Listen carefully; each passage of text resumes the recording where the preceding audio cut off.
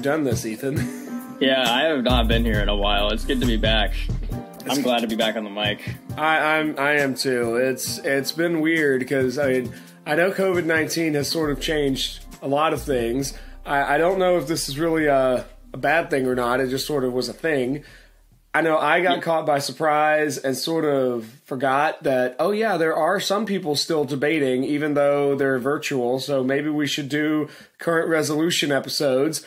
I just got so thrown by how different our lives have been over the last, I think, going Oh on six gosh. weeks now. Yeah, Corona's changed everything, man. I mean, everything is flipped on its head from school, going to the grocery store. Like, everything I try to do is somehow influenced by coronavirus. Even the amount of things we're trying to buy at the grocery store. Sometimes I would make multiple trips and, like, go at different times. It's crazy.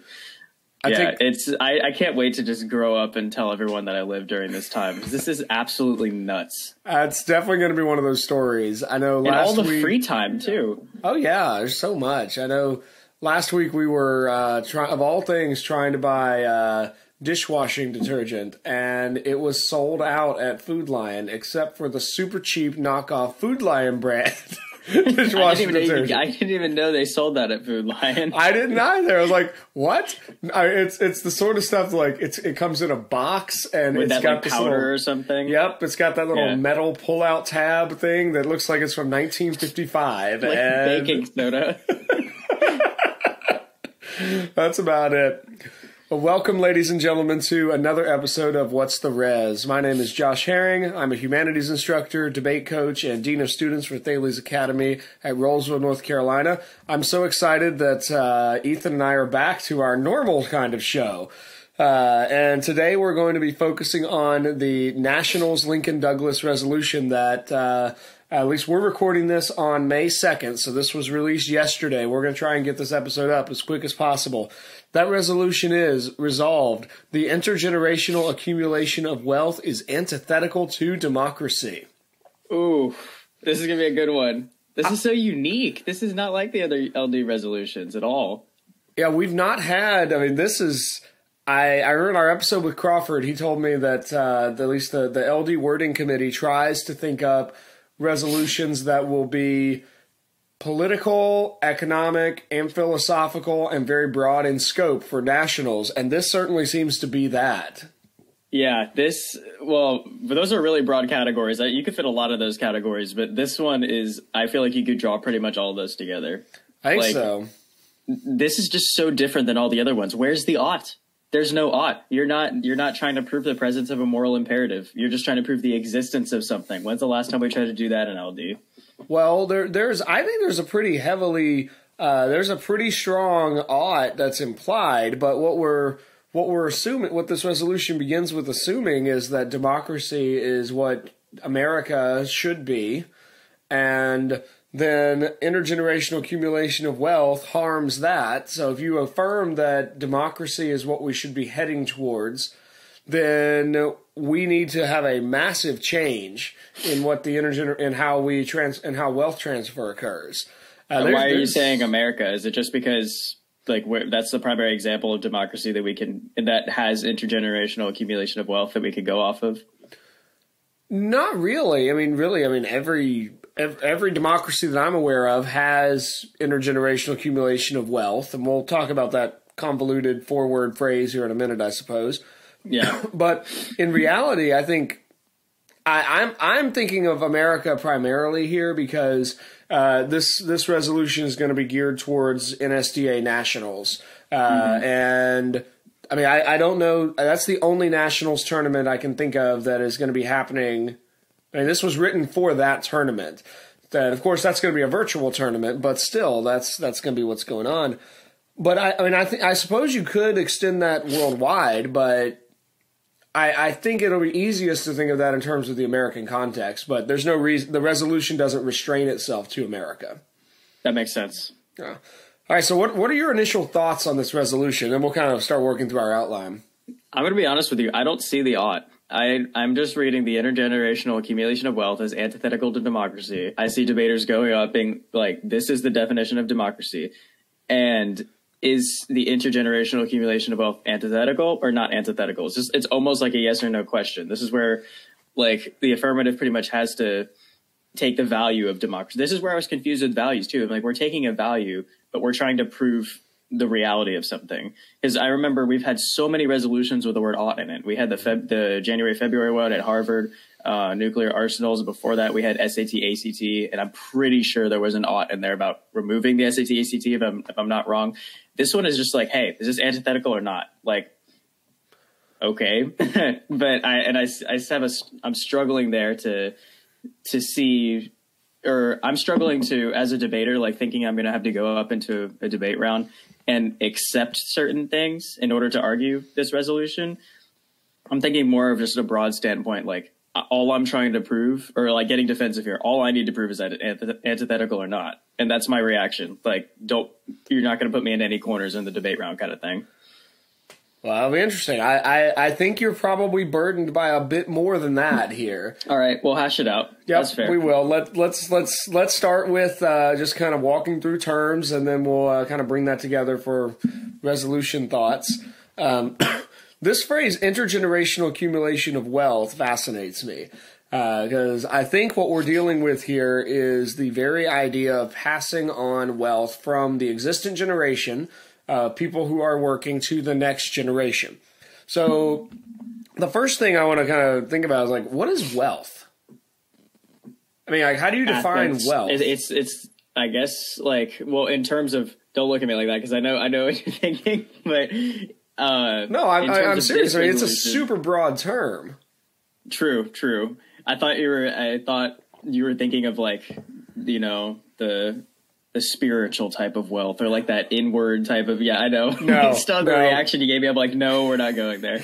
In terms of like how governments work how democracies work and how intergenerational wealth filters down through society i'm thinking mainly of assets and how you know through inheritance parents will pass on their assets that they accumulated throughout their lives to their children. So there's cash investments land all those things would count. And then the government takes their portion of it. That's my that's i'd have think that's the main scope. I would say, although I'm sure someone's going to find some crazy thing to argue for and have a great debate round with it. Probably so. I, I think you hit the big ones. I mean, the the whole idea here is that people work for a lifetime but a huge motivation uh, in in terms of basic economics, a huge incentive for why we work is in order to pass that on to children.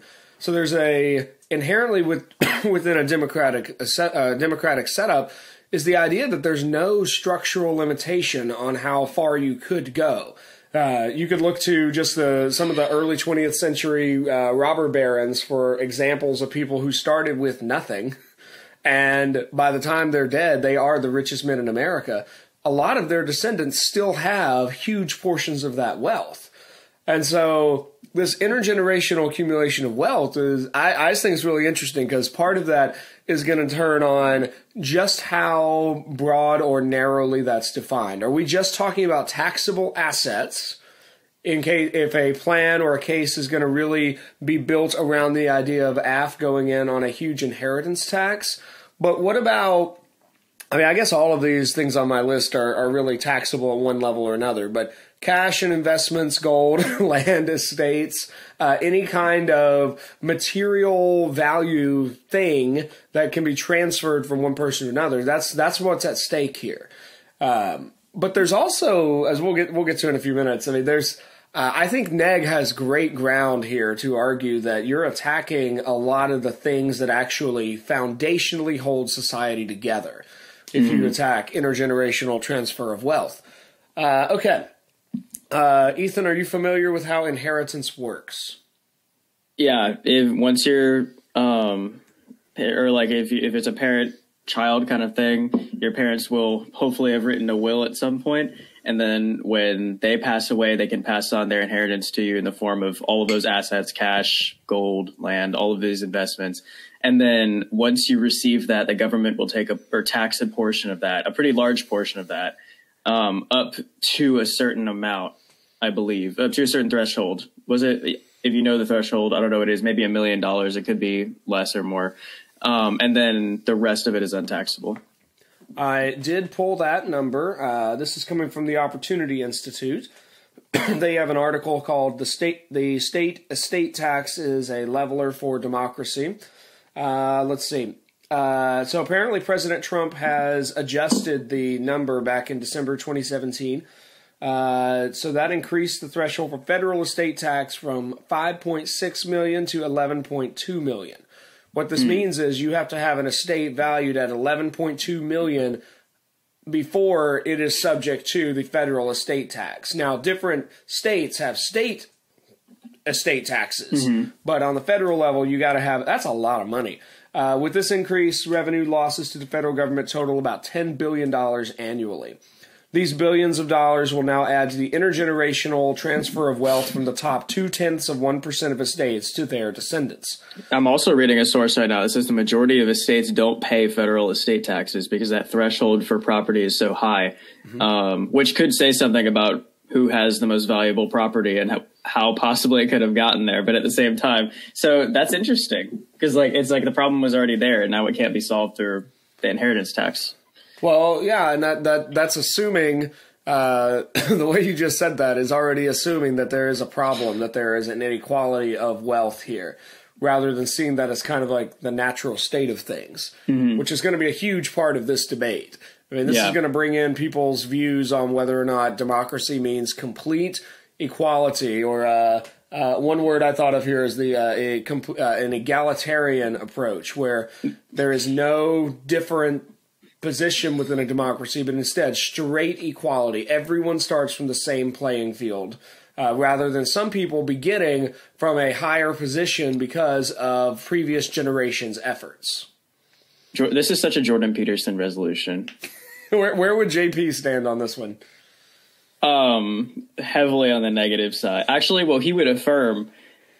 Let me think. I, I can see him on the negative side, but the one thing that's keeping me from saying he would be there is that he his in most of his lectures have some or a lot of his lectures have something to do with sorts of hierarchy and how the world operates based on unequal or unequal hierarchies and why that's actually a good thing.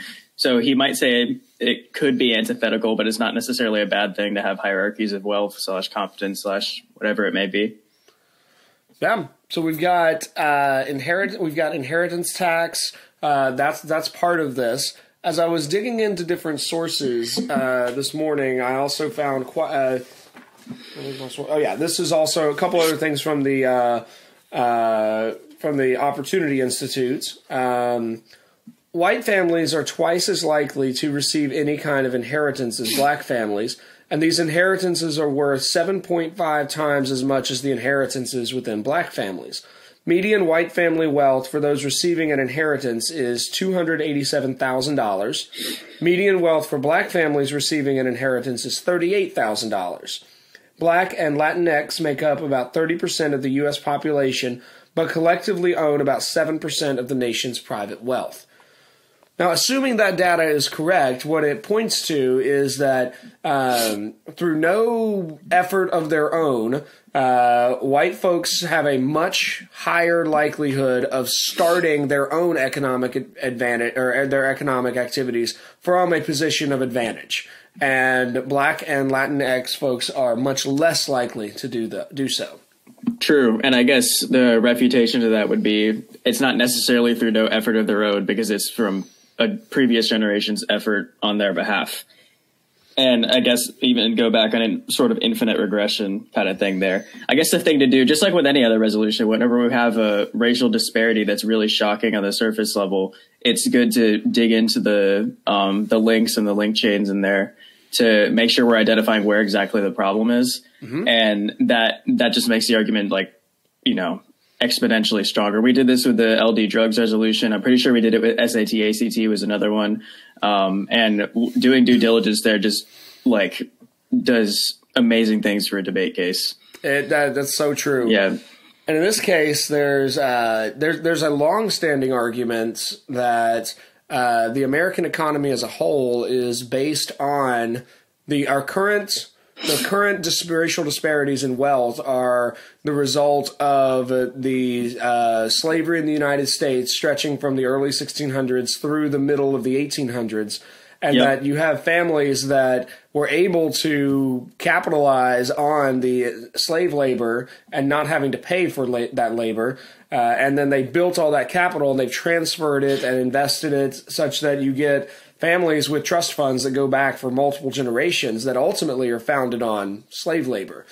Uh, and that's just a totally, which makes this a, that, that would be a very interesting, I think that's going to That be would a make for a good legitimate- debate. Yeah, that would, that'll be a Yeah. legitimate AF argument, I think, that you could easily Mm-hmm. bring in here to say that uh, this, if you ran justice as your value and then uh, racial equality as your value criterion or something like that, you could then make build your case around the fact that uh, the status quo is really unjust, and that through putting this affirming today's resolution, we will actually bring about a better state of justice between races. Right. Yeah, completely agree. Uh, okay, let's see. That's on the same idea. Uh, okay. Now, one of the big, um, as I was digging into this, uh, one article from uh, there's a journal called the Annual Review. Let me pull that ti- full title up. Uh, okay, here we go. Uh, so this is the annual review of political science. Uh, the authors on this journal article are Kenneth Scheve and David Stasavage. Uh, looks like Scheve is from Stanford University and Stasavage is from New York University. Uh, there, there were two guys who came up in this journal article and also a Washington Post article. They seem to be some of the bigger names on this kind of issue. Um, they argue that there's really uh, three reason they've got three factors that they want to con- they consider uh, in terms of this. The first of those is that uh, they look at that citizens without wealth might be divided by other what they call social cleavages or things that divide people in society, such as religion or ethnicity, and those other social cleavages could uh, inhibit the adoption of wealth equalizing policies. So their argument is that, in fact, uh, it might not. It's not just wealth that divides people in society. It's also political affiliation, religious affiliation, social uh, variation, geography, uh, cultural stuff. All these other things that might make people really resistant to wealth equalizing policies. They uh, go on to write the second way in which democratic politics has a contingent effect on wealth inequality has to do with citizen beliefs about the fairness of policies that redistribute wealth. It's often assumed that those with less wealth want redistribution, but support also depends on whether citizens think those policies are fair. Whether citizens think wealth equalizing policies are fair depends on the particular fairness criterion they themselves hold. I thought that one was really interesting because uh, a lot of these articles are making the argument on the AF side that if we have a redistribution kind of mechanism, well, that will solve all of this. But uh, these two authors found that really, if you uh, you, most people think that redistributing wealth, of taking wealth from the rich and simply giving it to those who are not yet rich, that's really unfair. And so that kind of policy would ultimately be pretty, they'd be resistant to that. Uh, the third thing they consider is what they call captured democracy. And this is one of the big questions, I think, of this debate. Uh, and they, they write about captured democracy. If the wealthy are able to exert disproportionate influence on government, despite the principle of one person, one vote, then they may use this influence to block policies that equalize wealth. It's not hard to think of how this might occur. The real question is whether we can trace the importance of capture across countries and over time.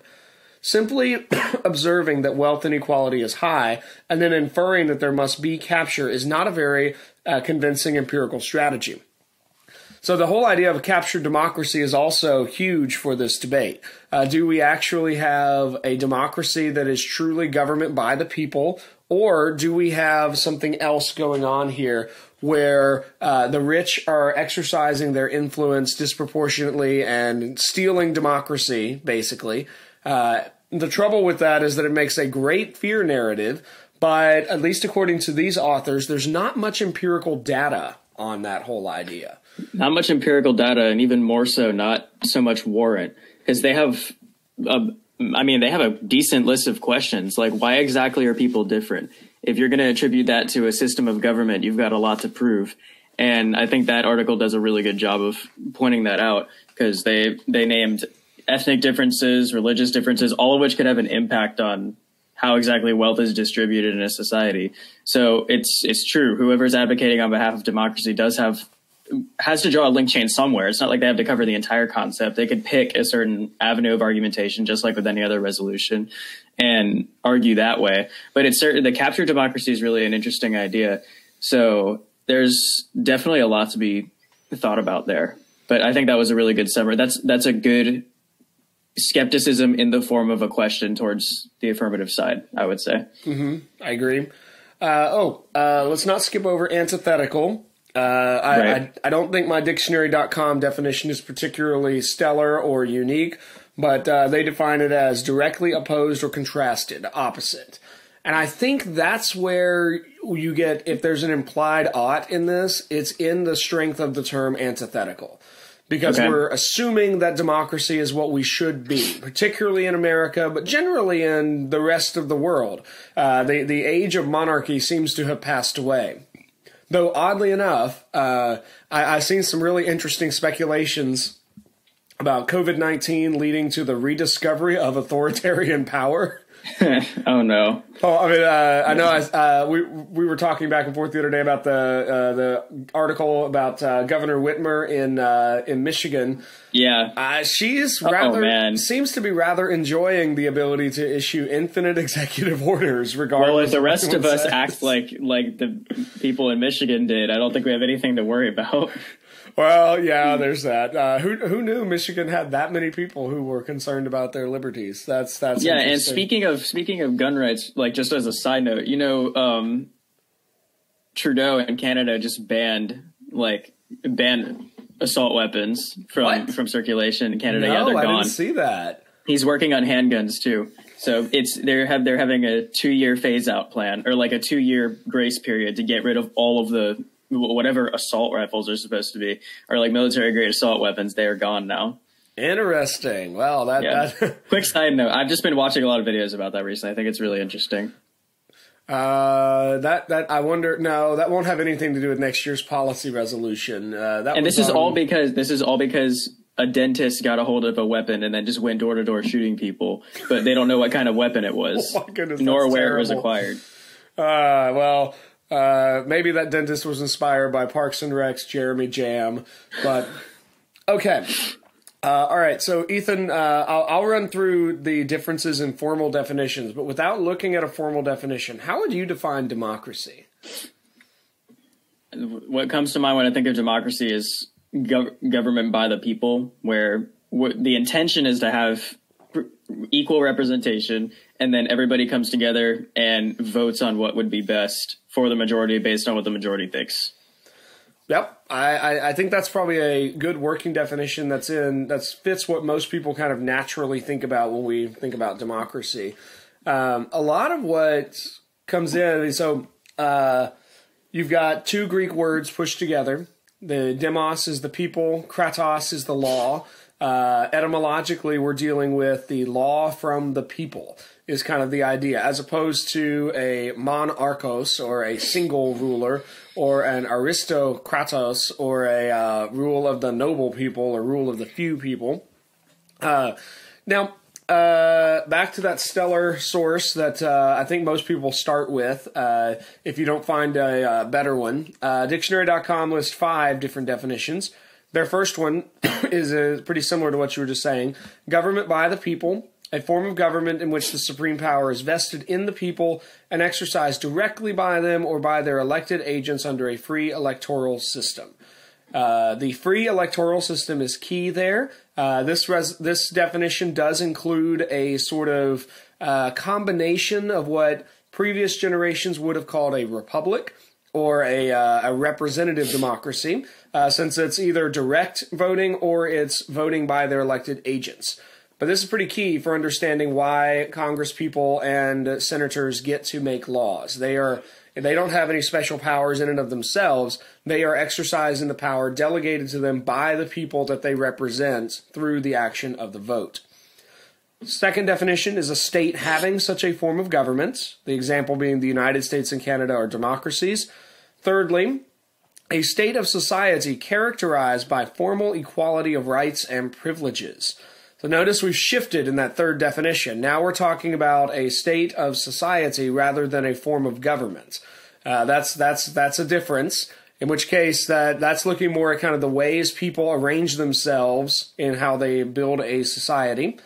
The fourth one is even more different the political or social equality, with the example being democratic spirit.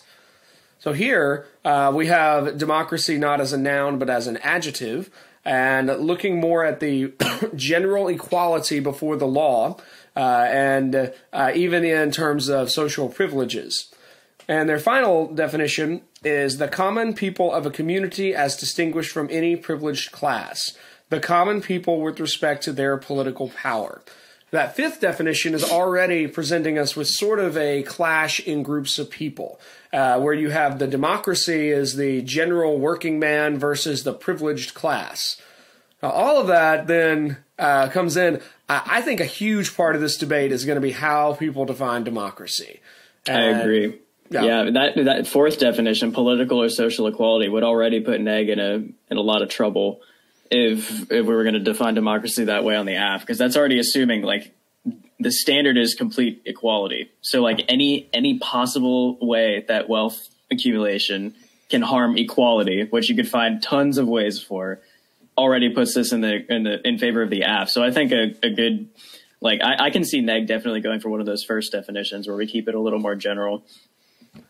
I think so. And and there's if you depending on your definition, it's much easier to talk about why everyone should have an equal, an equal starting point in terms of money and why yeah. anything that might be described as privilege is inherently bad or wrong for such a society. If we're talking about equality before the law, that's something that theoretically should not be shaped by how much money a family has. But if we're talking about uh, general social equality, well, then there's no way that a poor person from lower Alabama is going to be in a same position of social equality as someone who grew up uh, in upper Manhattan. And trailer park versus a brownstone in New York City. Those are going to be completely different starting points in society. So, depending on democracy, a lot changes uh, for this resolution. Uh, okay, uh, I've been talking quite a bit. Uh, Ethan, can you do you have the outline pulled up? I do. I have it right here. Excellent. Uh, can you read the the big quote? This is still coming from that journal article I mentioned a few minutes ago at uh, yeah. C point two. All right. So, what is the effect of wealth inequality on the emergence and sustainability of democracy? What is the impact of democratic government on wealth inequality? If one were asked to sum up the received wisdom about these questions, it would be that wealth inequality is bad for democracy, and yet democracies are also likely to implement policies that reduce wealth inequality. The simple reason for this is that those with no or little wealth are more numerous and therefore have more votes than the wealthy. This same pattern has already been noted for democratic policies and income inequality. These two authors are the most heavily cited proponents of the idea that democracy involves equalizing policies, although these authors have been challenged on multiple fronts, and some of their own recent empirical work suggests a different conclusion. Because of the distribution of wealth is almost invariably more equal than is the distribution of income, this same argument should apply even more forcefully for wealth. Political scientists have spent a great deal of time analyzing the empirical correlates of income inequality, but far less effort has made in has been made in this area of wealth inequality. There's good reason for this. Wealth inequality data are generally much harder to come by. What that uh, I think uh, means for us in terms of thinking about this resolution is that there's a lot of room on both sides of this. There, there's good ground on both sides of this resolution. Uh, there's plenty of people who have made the assertion that wealth inequality is damaging to a democratic country but they really have a but the neg has neg can focus in on the evidence and the quality of the evidence that supports that statement. And they're really the these guys at least and those names were uh, i'm probably going to butcher these Asimo, uh, asimoglu or acemoglu and robinson and boy and their works were published in 2000 2006 and 2003 respectively. Uh, but they're their arguments don't. There, there's not been enough research done that is done with quality evidence because that last line, wealth inequality data are generally much harder to come by. There's also a really interesting idea hidden in the first part of that paragraph and in the next quote that it's possible that democracy is self-regulating because once the wealth accumulates in one area, if we have a if we have an area that's true to democracy, like a or as true to a democracy as you could get, that means that you'd probably have more people who don't have as much wealth than people who have all the wealth. And if democracy is functioning the way it should, then that should change based on the way laws are made and wealth is redistributed throughout society. So that's interesting because maybe the affirmative or the negative could easily accuse the affirmative. If you're looking at an example of wealth inequality, you're looking at a democracy in a point of time, in a, at a specific point in time. And if you look at it in that specific point in time, it's going to look like wealth inequality is antithetical to democracy. But if you look at democracy over a span of time, you can see that it's more dynamic. It's like a like a cycle almost, and it's regulating itself. So different people end up having the wealth at different times. That's a great point. Uh, it makes me think about the fact that uh, even though they get a terrible name, the robber barons of the early 20th century became America's first enormous philanthropist. Uh, John D. Rockefeller donated millions, uh, what today would be the equivalent of billions of dollars, to begin the nationwide network of public libraries. Uh, Vanderbilt literally built Vanderbilt University. Uh, it's become one of the, America's leading research universities and so on. Uh, and so over time, that wealth gets filtered out into these different institutions. But then it also, you also reminded me of, uh, I, I don't know if you've, have you ever seen the TV show Downton Abbey? Oh my gosh, my grandparents love that show. My my British grandpa loves that show. You're gonna make me yeah, feel like I've an old it. person now, but okay. Um, be that as it may, Downton Abbey is a great illustration of the idea that uh, it's an old aristocratic idea, and it's one of those ideas that makes a lot of sense in theory, and it needs the right kind of person to make the theory come alive in a beneficial way. But the theory is that the wealthy, and in Britain, that's the aristocrats, it's the landed noble nobility and gent- or the gentry. They have their position of increased wealth and responsibility so that they are able to take care of the rest of the people. Not in some necessarily patronizing way, but in the sense that they have enough money to give jobs. and yeah. so their wealth becomes a source of job creation for other people. Now, of course, Downton Abbey, that that's one of the running themes in that show, where they're having to modernize the estate, and they're always in danger of going bankrupt. Because honestly, that family is not very good at managing its money. Uh, they they they lose their fortunes uh, like every season. Uh, but that that that's really one of the ideas there that uh, you need some level of wealth in order to create opportunities for other people to make wealth. In which case, I think that might be a really good negative argument to bring in that if we remove this, what you're actually doing in order to effectually actualize the affirmative case, you would remove the ability of um, people to have enough wealth to start large companies from the get go, or to uh, invest in large companies with inherited money, or even to make large companies able to continue running. Uh, all of those would be problems because that would, I mean, that would then bring in their inability to actually keep a modern capitalist society going. Yeah, and I'm looking at this from a more electoral standpoint. if you have most of the people not having most of the wealth, which is gen- that's that's going to be the pattern pretty much all the time. I, I remember there's this distribution Peterson talks about. I think it's the Pareto distribution, possibly. I could be completely saying that wrong, um, or just not remembering it because I haven't watched a lecture in a while. But it's this weird um, phenomenon where it, it goes something like 20% of X has 80% of Y. And it, it was like this weird thing that it's a pattern that nature follows, kind of like a Fibonacci sequence or whatever, where like 20% of the stars have 80% of the mass, or maybe in this case, 20% of the world has 80% of the wealth. It seems to be a little less close, I guess, in the form of wealth in that aspect. But um, yeah, it just it follows stuff like that. But what what I'm thinking is if you have most of the people who don't have most of the wealth, eventually people are going to get elected that intend to redistribute that wealth in some sort of way. And maybe not every time because I know most people in America don't have most of the wealth and most of it's at the top just like usual.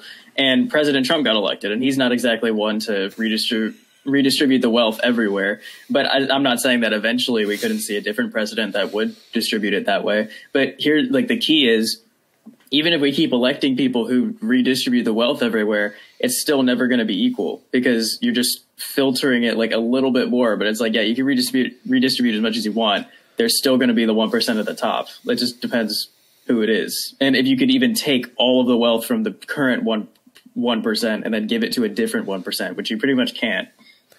I remember when uh, back in 2011, when the uh, Occupy Wall Street movement was kind of dominating headlines for goodness two months or something like that.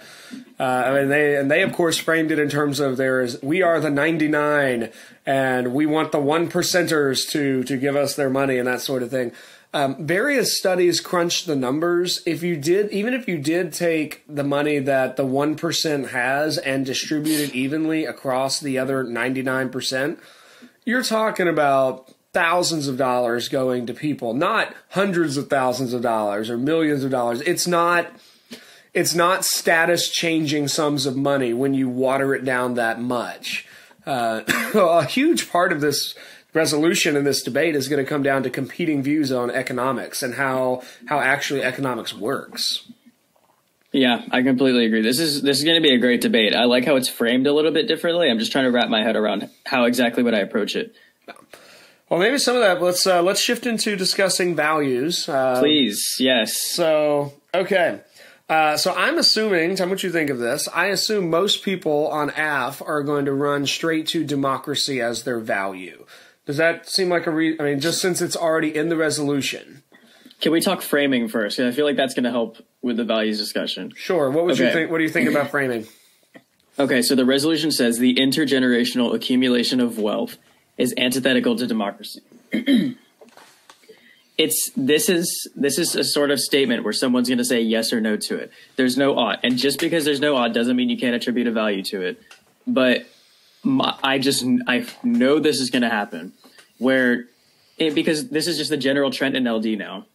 You say the values in the constructive speech, and you might touch on it in the last speech, but the majority of the debate doesn't come down to the value, especially when you have something as evidence heavy as this debate could be, or not not even evidence heavy. I should, I should use the word literature heavy. This debate could be. You're going to forget about the value, and you can you can go in the last speech and run to the saving grace of this resolution. That's literally just going to be, hey, all I have to prove is yes or no. It doesn't matter if democracy is valuable. It doesn't matter if egalitarianism is valuable. It doesn't matter how the wealth gets transferred, if it's taxed, whether or not it will be taxed in the future. Is it? It's like, yo, I um, it's like I love democracy. You know, like I, I I'm a huge proponent of democracy. Is this bad for democracy? Yeah. Or no, no, sorry. Even even worse or even better, I guess, depending on the way you look at it. The other way around. It's like, oh yeah, the intergenerational accumulation of wealth. Like I love that stuff. You know, like I, I love like, you know, getting money from like handed down from my grandparents, parents and everything. Is it harmful to democracy? Yeah. Okay. Like there's no value there. It's just like, yeah, I don't care if it harms democracy. It's like all in the end, all you're doing is affirming is something antithetical or not. And granted, in order for it to be an LD debate, in, in order to be persuasive at all in an LD round, you've got to have a value because when you forget like what you're supposed to be saying about your evidence or you're like in the middle of a debate there's no more evidence to be said it's like what do you run to? Well the value because you just kind of have to talk until you remember something else. You're you're going to have to run to the value to make it convincing but at the end of the day is it antithetical or is it not? That's it's just a yes or no statement. Yeah we're on two different sides on this one because i would see this as a i mean i don't see this resolution being that simple i don't think it's just a matter of like Judge, I just have to meet the fact that, yes, it's clearly antithetical to democracy. That's not a really interesting debate. Where I would see this going in a much more interesting direction would be to say, okay, this is antithetical to democracy. That take that as your premise, and then your debate is really about, therefore, what must we do because this is antithetical to democracy. This is a Bernie Sanders style resolution. This what is must Bernie's, we do because it's yes, antithetical? Yes. I like I I I think this is going to be a really interesting. This could be a very interesting plan based debate where you can get it's less about the value though I still think we should talk through a list of potential values. Yeah, and it can be more about okay, so aff is probably going to run some aff is going to run something where they say this is antithetical to democracy, and because we affirm democracy, we have to change everything about the way our society is currently situated. And then on the flip side, Neg is going to say, Aff is obligated by is, aff is burdened by the resolution to deny property rights, which has an enormous amount of harms. Aff is going to destroy the family, marriage, and our economy. And so NEG's primary strategy here is to look at the harms that are going to result from affirming and then implementing the resolution. So I, I think you're right in that the lack of an ought makes this a little bit less of a values based debate. It's more easily a plan based debate. about okay, but I, I think the and I, I don't want to reject the resolution in order to get there. But I see this debate as being essentially. Uh, I mean, I can. I wasn't kidding a minute ago. I think this is a Bernie Sanders type resolution because it calls for a revolution in I mean, this is rejecting English common law, the constitutional framework, the highest, the valuing of property rights at the highest level uh, of the American political and legal tradition.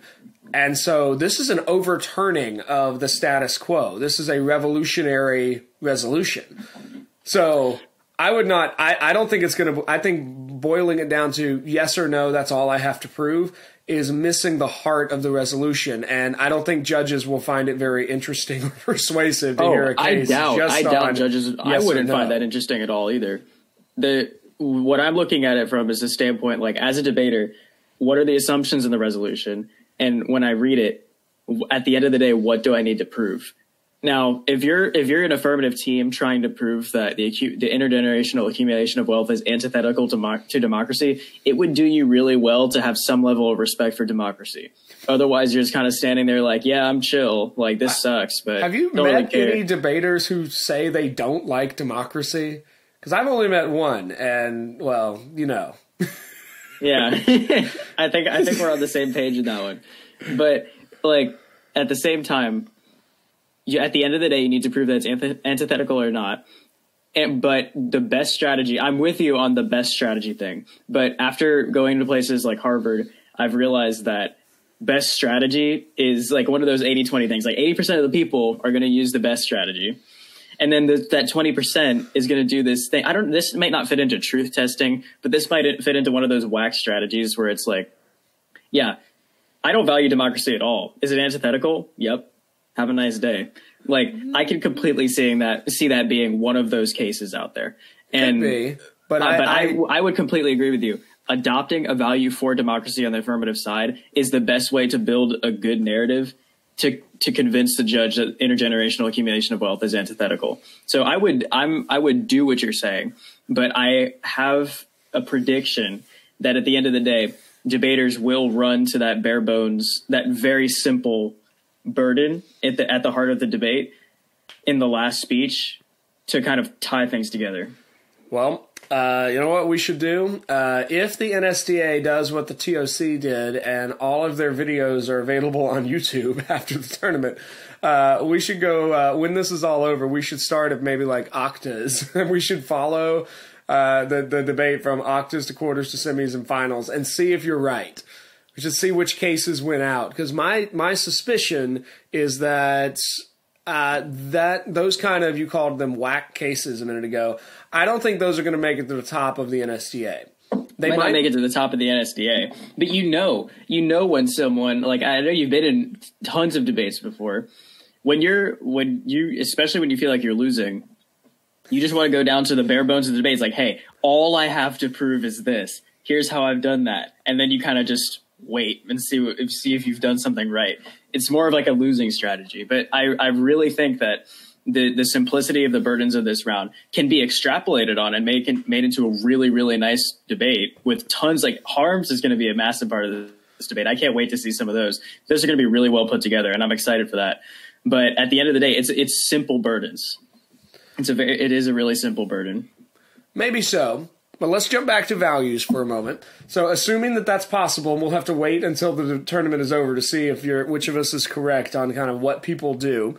Um, I think democracy is a very good initial foundation. Um, and it's gonna. I, I have trouble keeping democracy apart from the next my next two value recommendations. Um, because they, these all three seem to usually be used as synonyms when people use them as values. But democracy, equality, and fairness all seem like they could be strong, uh, predominantly. Uh, I think they could be strong aff or aff values uh, uh, just on the surface level to understanding of all three of those terms. But I think you could also use those as negative values because you gotta because you could certainly look at more practical applications in the real world for the negative value of that and see how democracy does require people who have the kind of leisure to actually be involved in government that substantial wealth affords. There's a reason that we have certain family dynasties in politics the Bushes, the Kennedys, the Clintons, um, maybe someday the Obamas, I don't know. Um, in part, it's because those families have enough wealth that their kids grow up in top schools, usually New England boarding schools. They go to the most prestigious universities and they don't need to scrap for their money. And so leadership kind of is in vain there, or is in their in their veins. Um, that at least is the argument I heard. Uh, that that was uh, that argument oh, where was it? It was uh, it was a speech made at uh, President H. W. Bush's funeral that kind of spelled that idea out. That the Bush family dynasty began with H. W. Bush's father, who was a he was like a fourth generation senator, and he trained his son to go into politics. But the requirement was he had to be very successful in business first, and he had to have built on the family capital such that they would be he would not be beholden to special interest. But each generation had done that, so the whole family is continually building their wealth and then going into politics.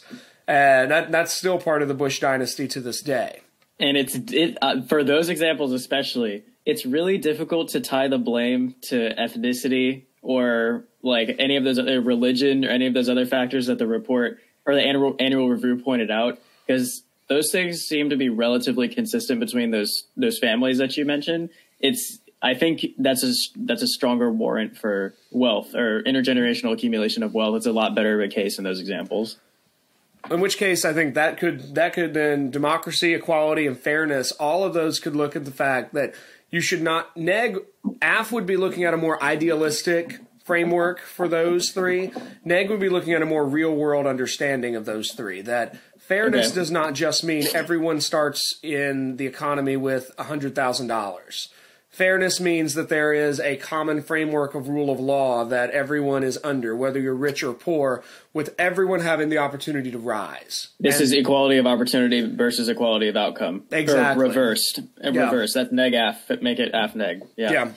That's a great. That is that is the very reason why this is the Jordan Peterson debate. That is well, that is like yeah.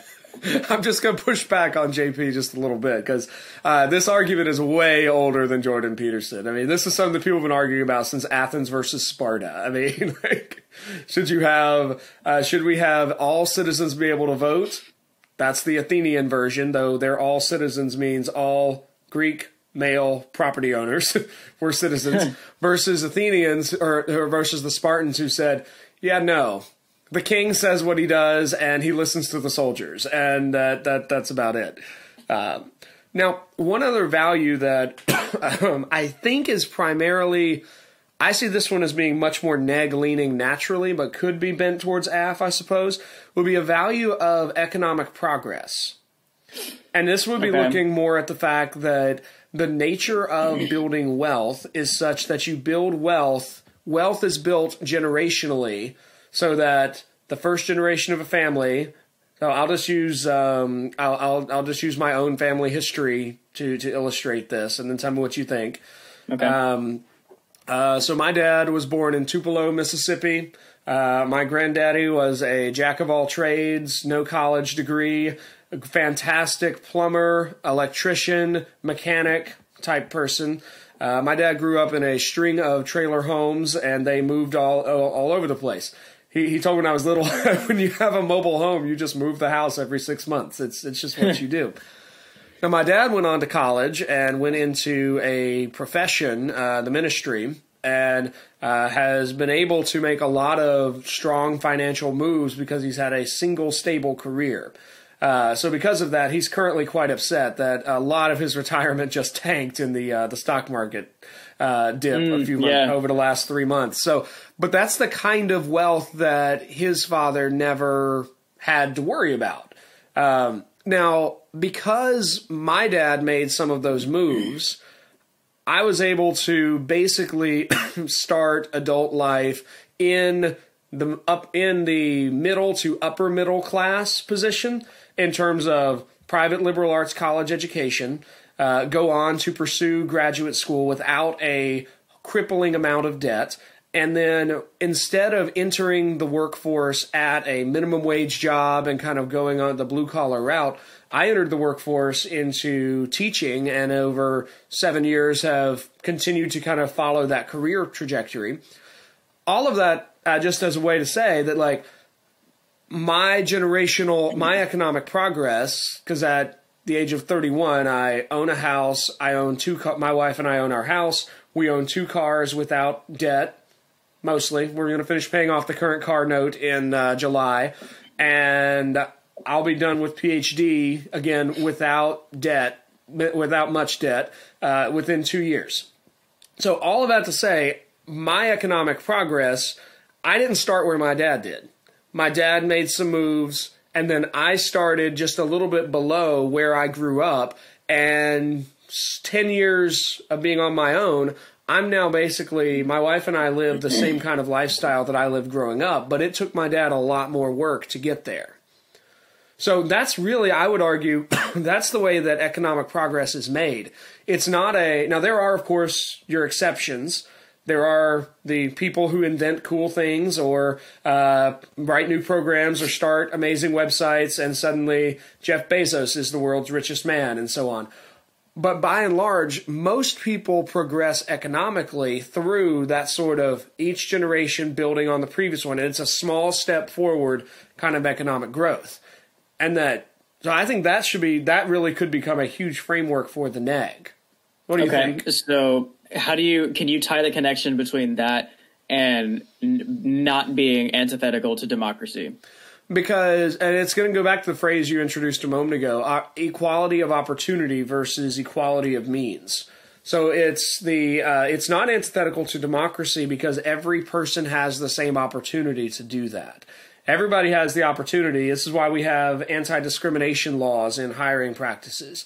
This is why across states and federal level uh, your ability to earn money is it's taxed evenly to a certain degree and then it's also limitless so it's not like there's a cap Oh, okay. where so everybody can do that and this also now the economic that economic progress that i'm talking about is where i think the biggest uh, argument on neg is going to be really looking at how this how aff harms families um, this economic progress is tied to existing family structures that transfer property and assets down the line through families. So it requires marriage and it requires um, parents to actually transfer their wealth to their children upon death. Now, if you get rid of that, you also loosen one of the last real ties that holds families together in a strong way. So you could also that the economic progress I'm describing is linked directly to stability. Yeah, and here's like I just thought of this too. Tell me what you think of this. Going back to the word antithetical. Antithetical is I think on behalf of the writers of the resolution is a very intentionally polarized phrase. And um when you think about it, affirmative has to has to affirm and prove that the transfer or the intergenerational accumulation of wealth is antithetical. That is a strong word. The negative can come back and be, and let's assume affirmative is taking a stance like an equality stance, equality of outcome sort of thing. It's like the, the reason we're not getting a better level of quality of outcome is because of this intergenerational accumulation of wealth. Negative can come back and say, is there inequality? Like, or like, they'll make your, the entire argument for economic progress, like you said, that most people accumulate wealth this way. And you gave the example Jeff Bezos. Is he an example of inequality of uh, or income inequality? Um, yeah. Like if there was ever an example of income inequality, it'd probably be Jeff Bezos. Does that mean that it's antithetical? No. Like, can inequality still exist in the system and it not be polarized, dead opposite antithetical. It's like, yeah, like you can have even the top 5% being massively rich doesn't mean that the economic progress is literally the antithesis of democracy. It just means, yeah, inequality exists, but generally it's a pretty good democratic system. So Neg has a lot of wiggle room there. Affirmative needs to, to, affirm a polarized position on this, which I think puts a much heavier burden on the affirmative. But at the same time, the affirmative has a lot of literature to back it up. So you might be able to weave around that a little bit. So well done writing this resolution, honestly, because that this is one of those things where affirmative has to to prove something pretty big, but they have a really a really great way to go about doing it. And the neg can can pick what part of that they want to refute, and if they take that part down, they've they've ruined the word antithetical for the affirmative. And like that's a ba- that's a massive burden of proof in the resolution to prove that something is polar opposite or completely the antithesis of. So that's what. What do you think? Oh, I I think you're right, and I think that the the only thing I would want to add on the the Bezos point is that Bezos is an example of inequality that is opposed to democracy only if it is legally prohibiting, if the law forbids anyone else from rising to be Jeff Bezos' equal. And we literally have a system. No one person made Jeff Bezos so rich. Uh, the law didn't what, make. Didn't you, you? This may not have been you, but don't you? Didn't you know someone that lived next to Jeff Bezos? Oh, I was going to bring this up. Yeah, uh, it's my brother Oh, Chris. He uh, he lived on Jeff Bezos has a house on Mercer Island in Seattle. Uh, my brother Chris lived out in Seattle for two years. He worked for a company there called PushPay. Uh, he's he is where he works with a uh, nonprofit Christian group called um, uh, Young Life. My brother Chris does, not Bezos. And uh, Young Life, because of the work he did with Young Life, uh, Chris got to be one of I think eight or 12 guys who were all splitting rent on this giant mansion on Mercer Island. I mean, like, which also, as a side note, is another great example of how income inequality is not nearly as simple as you might think. Yeah, Somebody who yeah. has just moved to a big city and is fresh out of college. Uh, that doesn't necessarily mean that they have no access to other things. There's all there's all kinds of other institutions and other arrangements, so it's not nearly as simple. Chris partners with Young Life. They tell him, "Hey, we actually have a giant donor who loves Young Life, and he lets our guys rent his house at at cost to him. So instead of rent being like ten thousand dollars a month, eight guys were splitting. I think it was like four or five thousand dollars a month, and so it, it became something much more affordable. Anyway, he's living on this island, and uh, turns he calls me a few weeks in. Is like, by the way, Jeff Bezos lives like down the street, and I about died. It's like, why can't I? Why still? Why can't I believe you? Why am I still I- I- unable to accept seriously, this? I, Like, at some point, I'm sure so you'll meet times. Chris, and you'll have to ask him. But like, This is just so crazy. I, I told him he needed to get a dog just so that he could walk his dog and meet Jeff Bezos while Jeff is walking his dog. Just for the fun of be like, oh yeah, Jeff, how's your dog? By the way, you want to Oh, give me like a million bucks because you got so much? I mean, that'd be cool. He, Hey, he we did have an organization. Would you like to be a donor? Yeah, he, he, he did not ever. Uh, I I don't know if he ever even talked to Bezos, but he, he lived like down the street. That is so cool. which also is another great illustration of democracy in action because in an aristocracy the poor do not live anywhere near the rich and in, in america that often does happen but there's no law preventing it it is often the case that we have poor sections rich sections white sections black sections um, by and large we've gotten rid of all of the laws that used to segregate cities uh, we actually have a lot more legal equality than we ever did. And today, uh, if anybody can prove discrimination in lending practices, uh, they they can take a bank to court so fast. I mean, it, it's it is it's really not worth it for a bank to hold on to their old old prejudices anymore. So all that to say, like that that's another piece of democracy in reality, I think. Okay, uh, we need to make a choice real quick. Uh, do do we? Uh, and we're just gonna think out loud on the episode, I suppose. Uh, Do we want to just make this a long episode, or do we want to call it there and come back later and talk about arguments? Because we're at an hour. We will come back and talk about arguments. This is going to be a two part. All right, that, Yeah. that sounds good to me because I, I think we have done a really good job laying the uh, just discussing the basic pieces of the resolution and the values and uh, the different ideas. And we should definitely come back and uh, and and do that. Uh, okay, so uh, Ethan, if people want to get in touch with us, how do they do that?